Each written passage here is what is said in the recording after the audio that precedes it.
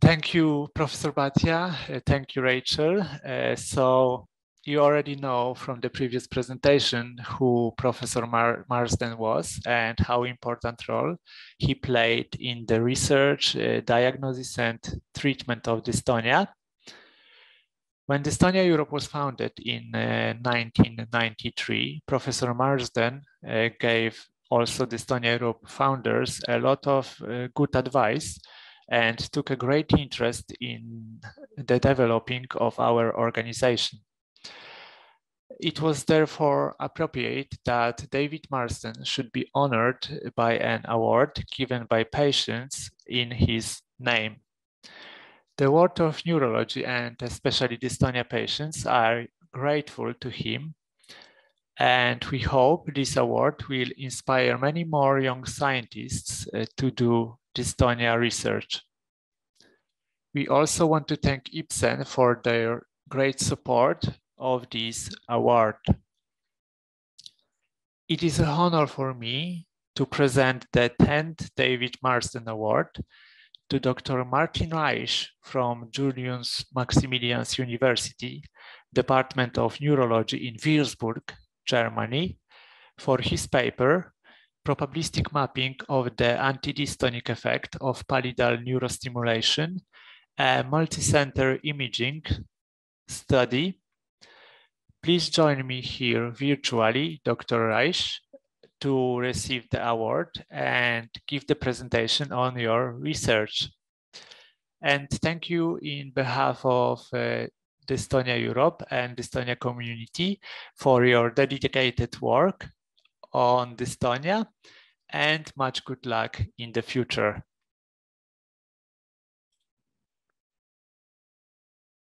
Hello, everyone. Um, it's my pleasure to uh, speak to you today, and I'm really, really honored um, to be elected for this uh, um, um tremendous David Marsden Award. Um, and thank you so much uh, for the um, Europe um, Foundation, uh, which uh, um, gave me this prize for the just published um, article about probabilistic mapping of antidystonic effect of pallidal neurostimulation.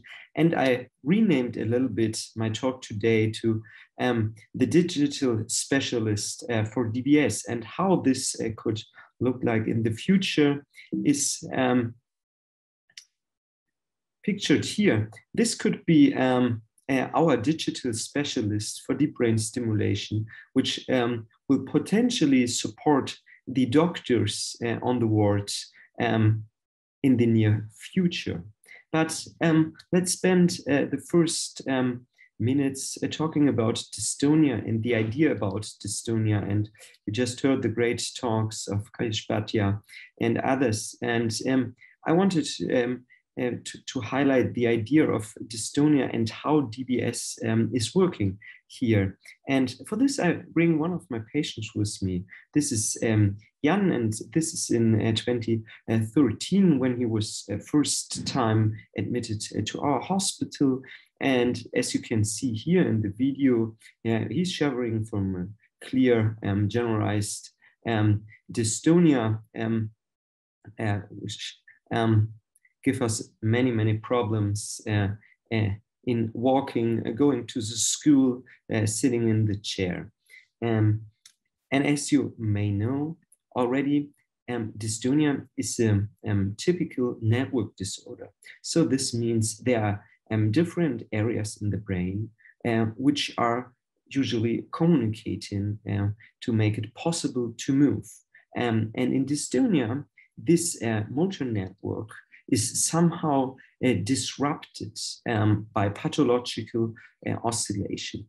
And um, really crucial parts um, of um, this dystonia network are the primary motor cortex, the premotor cortex, but also sensory motor cortex and the cerebellum, and which in the end affects um, the muscles, which are hyperactive and um, um, bringing this uh, problem um, of twitching um, movement, involuntary movements, as you saw, for example, um, in Jan before. And the problem in, in this network disorder is not that one of these network partners, partners are not function anymore. The problem is the communication, communication between each other. And you can imagine that similar to an orchestra, uh, where you have um, different, different instruments um, um, to partner in the end uh, for a nice um, piece of music.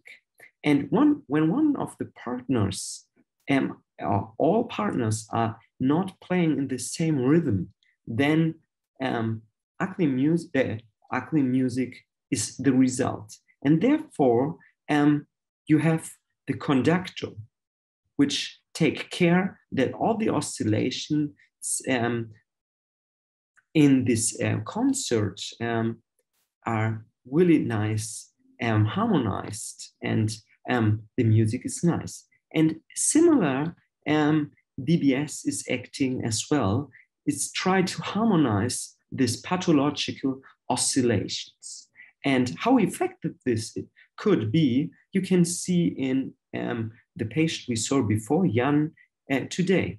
Today, um, he, he's a professional uh, person in a, a, team member in a racing team. Um, and here you can see him giving us a tour uh, to one of this um, racing team garages. And he's explaining how all this is working and um, how many different tires uh, they bring for a race and so on. And as you can see here clearly, he's not anymore suffering from dystonia. And this is a part of his uh, team, and they won also the uh, 24 hours of Le Mans um, race uh, a year ago and he contributed uh, to this uh, team. He was not actually racing, but uh, he was an important part of it.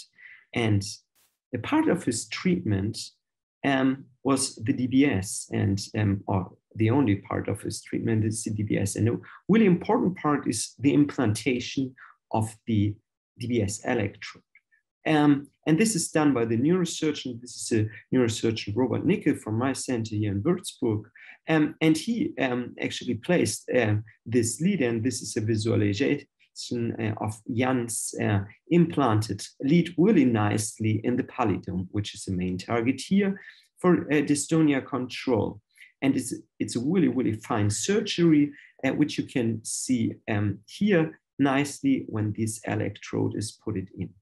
But this makes the possibility of um, electrical modulation um, of the brain. But it, this is only one part of the therapy, which is um, um a highly precise part um, of the therapy, which um, it's really important to put it in, in a really best spot of the pallidum.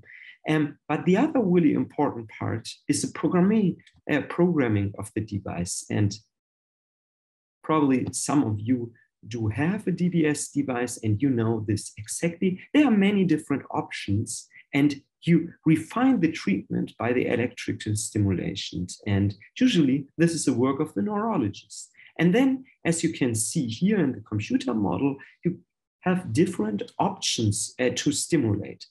Hereby, the, the lowest option is most probably the best um, option to stimulate um, the, uh, the blue part here, which is um, the pallidum, whereby the, the highest contact, it's not anymore placed there. And how we refine this therapy, um, and this is by clinical testing. We looking in an acute setting um, and looking for each of these possible contacts for the best stimulation results on the dystonia.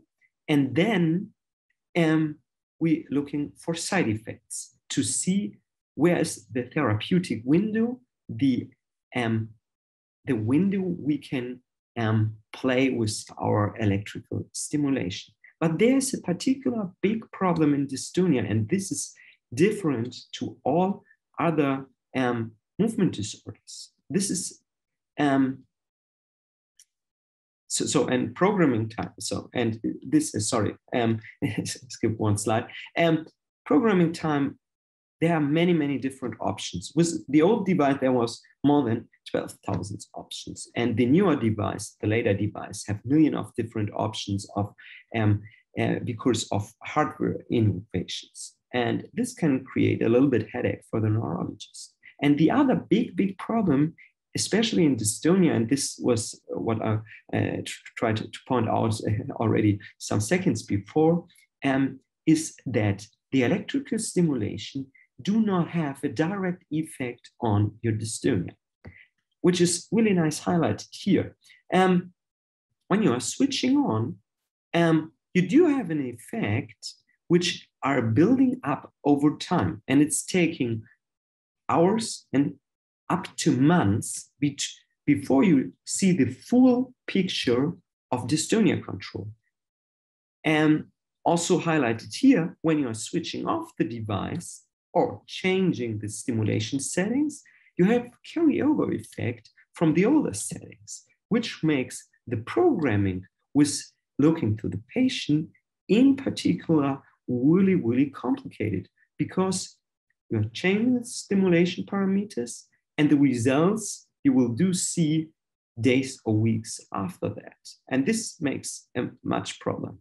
And in our particular cases of Jan, um, how often we programmed him um, back in Würzburg, and it was 18 times um, he was presented in our outpatient clinics, and he was more than 40 days as an inpatient before we make sure that he can skiing also in the Alps. So this means more than 80 hours we spend programming in this um, young boy.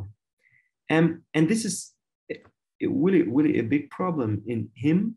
We found the right stimulation parameters, but um, because of this complexity of so many different options and um, the problem of this delayed uh, visible effects, there are a really current problem, which is highlighted here in the study of Jens Volkmann, and this is a, a clinical trial. And as you can see here, these are um, in um, black marked patients with no effect of the DBS. On the other hand, in green, these are really good responders. So there is all a big variability in this uh, cohort. On the one hand, good responders and bad responders. And now we come to my study, which was um, uh, awarded with the David, David Marsden Award. And in this study, um, we looked in particular to this uh, problem.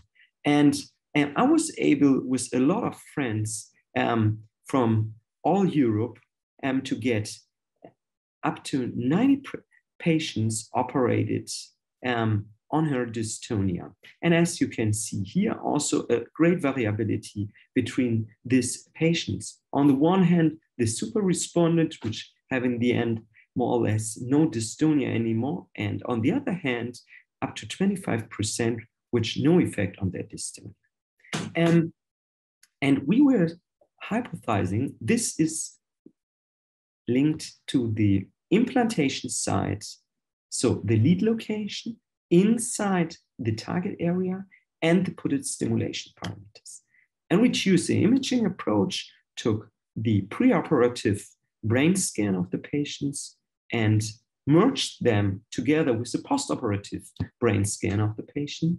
And with a computer model, we were able to visualize which individual brain area was stimulated for each patient. And then we linked that um, to the dystonia reduction, which was clinical, observed in this patient in the long run after three years or longer. And then we aggregated all this data and made a statistical map out. And this is a statistical map, as you can see here. And this statistical map, you can ask where's the spot which a neurosurgeon or a neurologist together should stimulate which give us the highest likelihood to have a good dystonia control, which we called sweet spot. Um, and this is actually here placed immediately and to with uh, um, a portion in the white matter of the pallidum, which is the target region, uh, which was supposed to be the target region before. But then we asked how much um, can explain um, of our cohort variants. And you remember, on the one hand, we had really good um, doing patients with DBS, and on the other hand, there was a not favorable outcome with no effect of the DBS. And how much is this linked to this idea spot in the brain you should stimulate? And as you can see here, when we look to the active contact, so the um, electrode contact, the neurologists have chosen in each patient based on the surgical implanted um, lead, you can see we can't explain much here, and there's no clear pattern um, which is um, pinpointing to the sweet spot. And this was, of course, a little bit frustrating result, um, but we kept motivated uh, on that. And I will highlight our thoughts and the idea um, with a small tour. And uh, imagine your um, a small tour about sweet spots and the idea spot. And imagine you are booking holidays in Paris. And here, your hotel is placed here. And the sweet spot, the best spot in Paris, and when you ask many, many uh, people or your best friend, he will may say, Hi, it's an Eiffel Tower. Yeah. And when your hotel is there, reaching the Eiffel Tower can be a challenge. And possibly you need a taxi to drive there because it's quite far away. Yeah, but on the other hand, this is not how the, the, the young society now is working. And you know, today is all digital and all is about posts and likes in the new generation. And a map from Paris may look not like that with only one highlight um, area or place. It's potentially looking more like that with a lot of places the Louvre, the Sacre Coeur, and all the others. And then, when the new generation have been somewhere, they are posting likes because they have been there, and then they you get recommendation from many, many, many persons, which is highlighted here with the Google stars, whereby five stars is highly recommended and one star not so much. And as you can see here, yeah, still the Eiffel Tower is the best place in Paris by this uh, meaning of many, many people. But the Sacre Coeur, it's nearly there. And it's much easier to reach um, from your hotel. So possibly you go easier to the um, Sacré-Cœur instead of the Eiffel Tower. And this is similar to the probabilistic map, um, the entire statistical map. So we took that map and applied here the individual stimulation field of a patient and counted based on this probabilistic map um, the values which are reflecting the experience from all the other operated patients. And with that approach, we were able to explain here quite precisely the variance of the cohort. And we were also able to predict patient outcome only on the stimulation fields. So meaning we took patient one here and we showed our, uh, and we did our pipeline um, to find the stimulation field, which is clinical stimulation parameters. And we were able to forecast this patient, how good is he doing on the DBS therapy. And as you can see here in patient one, it was not favorable. He, but on the second patient, here, the forecast was 90%, and he was actually doing really, really well with 98%. And this is really nice if we can forecast by the choosing, the clinical choosing parameters, how the patient is doing. And this is so far so good, but mainly motivated by um, the reviewers in Brain, um, we thought maybe we can go a step farther. And the further step is we know at the moment the neurologist is um, checking all the different possibilities on the stimuli, uh, on the implanted leads. But why not the computer can doing that when he can predict one outcome, he can predict also thousands of outcomes. And actually, this is what we did in a simulation. So this was only the simulation on a computer. If this is a possibility for the future. And here we checked all our patients on different stimulation settings, which was not the stimulation settings um, which was before chosen by the neurologist. And then the computer uh, checked all these possibilities and chose the best one, the best predicted setting. And as you can see here, the computer selected choice have a potentially um, significant improvement compared to the clinical program choice. So, and this is um, something like artificial intelligence um, approach to potentially program DBS devices in dystonia in the future, which raises a lot of hope here.